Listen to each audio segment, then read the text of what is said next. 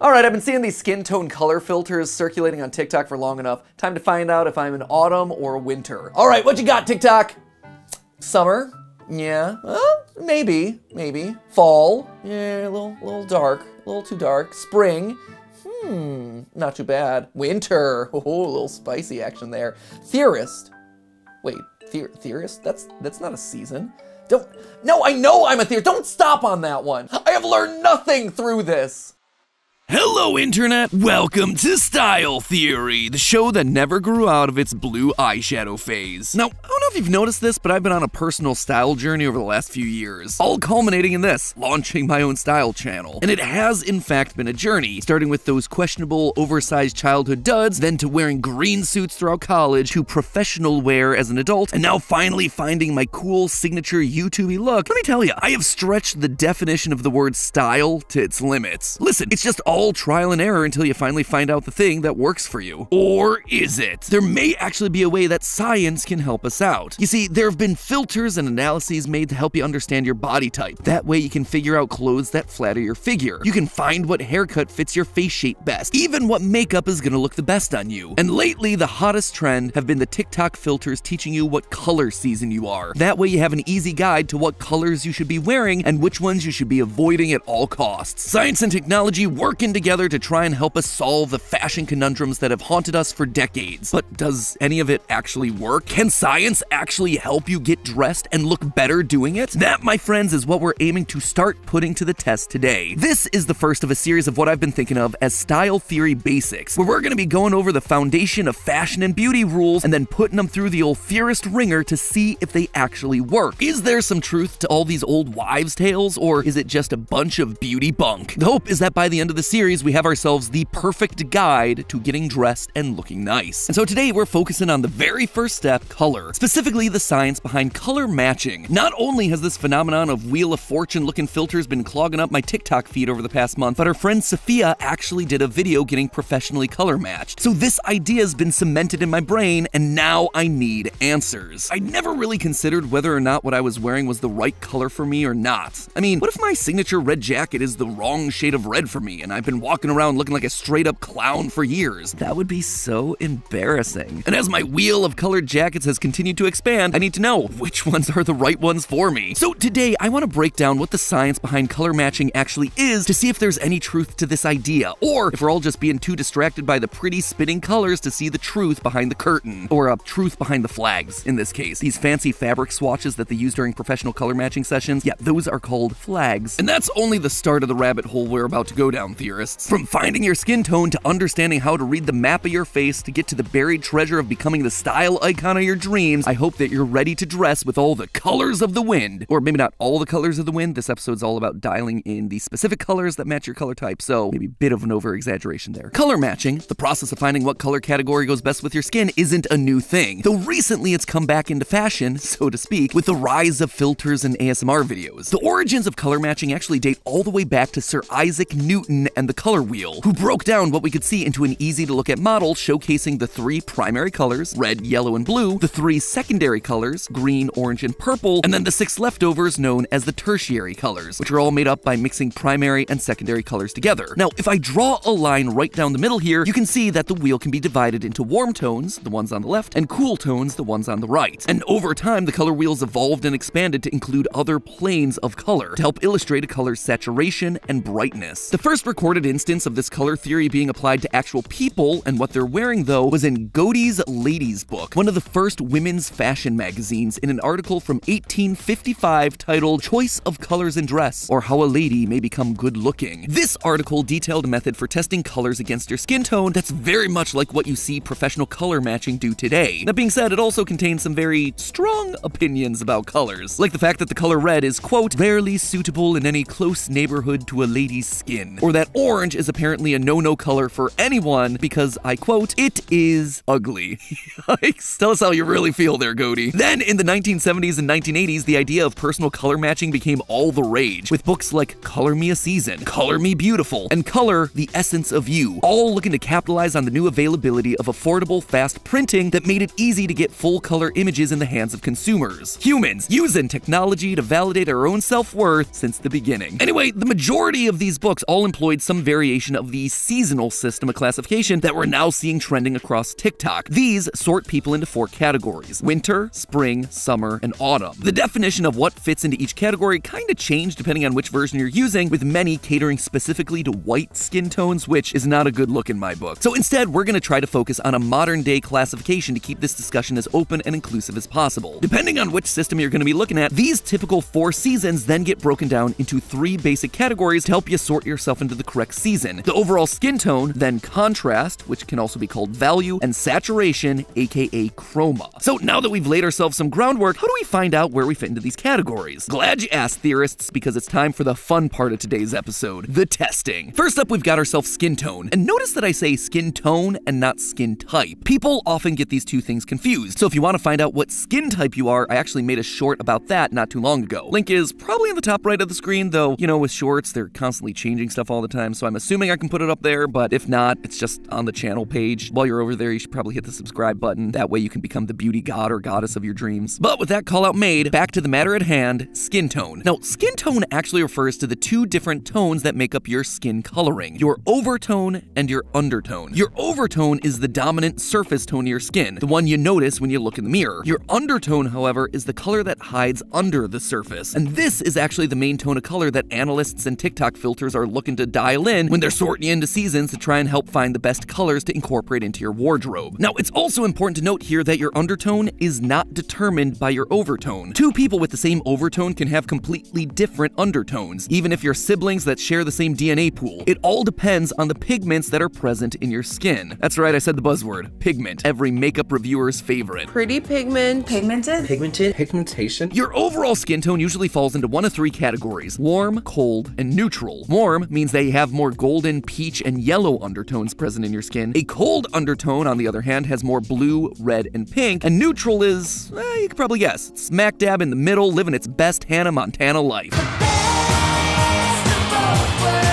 And while there's certainly a number of things that can factor into what your skin tone is, like genes and sun exposure, you can actually break it down into three main contributors melanin, carotene, and hemoglobin. Let's just start with the one that you probably heard about before melanin. Melanin is a pigment produced by cells called melanocytes that are found in the top layer of your skin, the epidermis, though they can be found in other parts of the body as well. Your body produces melanin to protect your skin from UV radiation, and this is why if you hang around basking in the sun for long periods of time, your skin starts to change in tone. When exposed to the sun for a significant length of time, your skin starts producing more melanin to help protect you. And if you happen to be someone who burns more easily, then your body is likely not producing enough melanin to protect the surface layer of your skin. In the human body, we actually have ourselves five different types of melanin, but there are only two that you need to know for our purposes today. There's eumelanin, which comes in either a brown or black type, and pheomelanin, which comes in a range from yellow to red. The amount of these two types of melanin pigments determine not just your skin tone, but also your eyes and hair color as well. Yep, it's all connected, and it's all unique to you. But what about the two other factors that I mentioned? While they certainly play smaller roles, carotene and hemoglobin are key ingredients to making your skin tone unique. You might already be familiar with carotene when it comes to plants. This is what gives carrots their bright orange color. When we eat more food with carotene, our body is going to store that in our fat cells, where it then gives our skin a more yellowish tone. Though too much can certainly take it further. Ever see that episode of Magic School Bus where Arnold turns orange because he was eating too many orange seaweed snacks? Well, that's actually a real condition called carotenosis, where the body's absorbed and stored so much carotene in your fat cells that it actually tints the skin an unnatural color of orange. Just no one tell Godey about this. I hear they think the color orange is ugly. And then there's the final factor, hemoglobin. No, not hobgoblin. I'm talking about the stuff that's floating around in your blood, not the guy that's floating around trying to attack Spider-Man. Now, don't get too excited, all you vampire facial aficionados. Uh,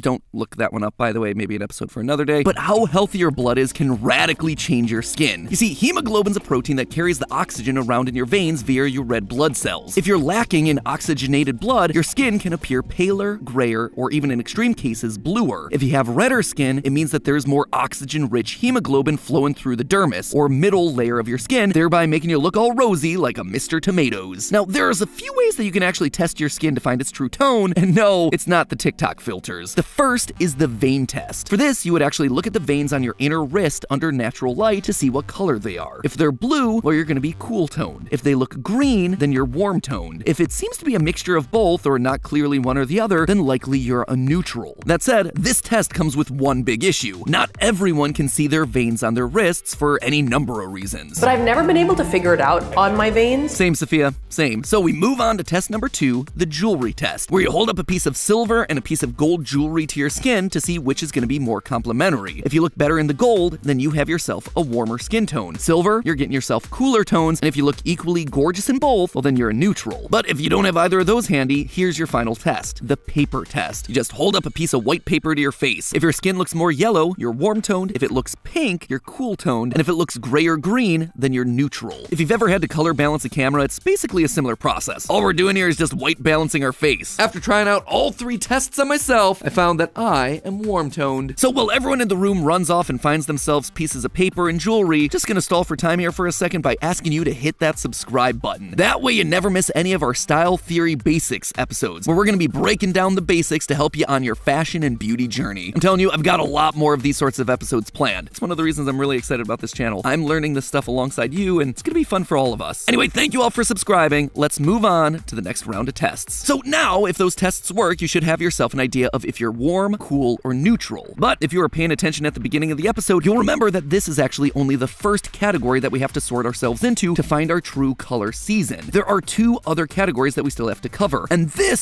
is where all those TikTok filters really start to break down. They're not built to dive deeper than, oh, MatPat's pasty and kinda yellow in this lighting according to the color balance on this phone, so we're just gonna classify him as a summer. So in terms of science, that's a big point for professionals and a big ol' zero for the TikTok filters. Now, you ready for a sorting speed round? Let's go. Category two is contrast, also referred to as value by color matching professionals. In this category, you're either light or dark, aka low contrast or high contrast. This is gonna determine whether you look better in lighter colors like pastels or darker colors like deep navy blues and maroons. Pastels are lower in color value, so people who are high contrast tend to look washed out. If you fall somewhere in the middle, well, you can likely pull off both. The best test to figure out this one is by taking a photo of yourself and then running it through a filter or Photoshop to turn it into grayscale. Just make that thing black and white. This is gonna help you see if your features all blend together or if there are standout features like your eyes, your eyebrows, and your hair. Take a look at this full color version of my photo versus the grayscale. As you can tell, my eyes, eyebrows, and hair all have high contrast relative to my skin. This thereby makes me a high contrast person and better suited for darker, higher contrast clothing. The same rule applies to people with deeper skin tones than me as well. As explained by the conceptwardrobe.com, quote, similarly, if all your features are very dark with very little difference in value between your hair, eyes, and skin, the contrast between your features is also deemed high because the dark features contrast with the whites of the eyes and the teeth. On the other end, if all your features hit a similar tone, then you are low contrast and are better suited for lighter colors. Think Taylor Swift in her lover era. Lastly, there's the saturation category, aka chroma, where you're either a bright or a muted. Bright or high chroma colors are more saturated. Muted or low chroma colors are less vibrant and have a higher value of gray pigment. People who look better in bright colors tend to look washed out wearing all neutral tones. It makes their skin appear more sickly and dull, whereas someone who falls into the muted category can wear neutrals with no problem. On the other side, muted people tend to be swallowed up by outfits that are too colorful. So let's just try this one for ourselves. Here's two pictures of me in my classic red jacket. Now on the right, let's up the saturation to make it brighter. On the left, let's bring it down to a more muted, grayer red tone. See how the brighter red actually looks better on me? That means that I fall into the bright category. Jeez, the Myers-Briggs personality test has got nothing on color analysis testing. We've literally analyzed ourselves down to the microscopic level for this thing. Feel so perceived. Now that we've had ourselves a crash course on the three categories that factor into color matching, skin tone, contrast, and saturation, it's finally time to put all that information together to find our color season. If you have a warm skin tone, you fall into either spring or autumn. To find out which, we look at contrast and saturation. Light and bright makes you a spring, dark and muted means you're an autumn. On the other hand, if you have a cool tone, you're either summer or winter. Cool tones who are light and muted are a summer, while those that are dark and bright are winters. And if I didn't call on you, don't worry, that's not because you failed the test or did things wrong. It actually means that you don't perfectly sort into any of these categories. You actually fall between seasons. Depending on which color analysis guide you use, there are a few different ways to categorize people who don't fit into a true season, but the simplest explanation is this. Light muted warm tones are autumn summers, dark bright warm tones are spring autumns. For all the cool kids out there, light bright cool tones are winter springs, and dark muted cool tones are winter summers. Uh, if I'm going through this too quickly, just feel free to screenshot stuff. In these cases, one season tends to be the dominant season depending on the person. And I didn't forget you, my neutral tone theorists. You are lucky enough to look good in pretty much most colors, which means that you're able to float between seasons more freely. With your contrast and saturation results helping to rule out any outliers. For me, after running all the tests, it actually turns out that I'm one of these outlier cases. I am dark, bright, and warm, thereby making me a spring slash autumn. And when you actually stop and look at the stuff that I like to wear, these brightly colored jackets, these high contrast shirts, all these items that are vibrant and loud, they actually match the exact color palette that I'm supposed to look best in. Without realizing it, I was actually dressing for my true season. Guess I just kind of lucked my way into it. So now that we've found ourselves the perfect definitive color palette for each skin tone, we can go forth into the world knowing the hard facts about what colors we should be wearing and which ones we should be avoiding at all costs. But now that we've done all that, I'm not actually satisfied with the answers. There are so many variables here that this science feels incomplete to me. All of this color theory feels just like that. A theory! And while I certainly love myself a good theory, you know that I love myself some sweet, juicy data more. And boy, howdy, does this thing feel like it's lacking the numbers to back any of this up. Forgive me for not inherently trusting a system that's been around since Godey was shaming the color orange. So, theorists, I'm gonna need your help today to prove or disprove the entire color matching game once and for all using a survey. That's right, my friends, it's time again where we use our collective hive mind for the greater good. It's a super simple survey where all you gotta do is go through a list of pictures and choose either this or that. Which one looks better? So head on down to the description and click the link to take our color matching survey. I even left that link right there on the top line for you because, you know, I like you so much. I'm only gonna be keeping the survey open for a couple days, so make sure you do it ASAP if you wanna be counted. And then meet me back here in a few weeks to see whether all this color analysis can actually hold up to the cold, hard judgment of you guys. Actually, don't just meet me back here in a few weeks because there's gonna be a whole new episode next week and it's gonna be a banger. I promise you that. We are constantly working to make sure that you have awesome stuff to watch. Educational and fun, welcome to Theorist. But as always, remember, they're all just theories. Style theories. Keep looking sharp.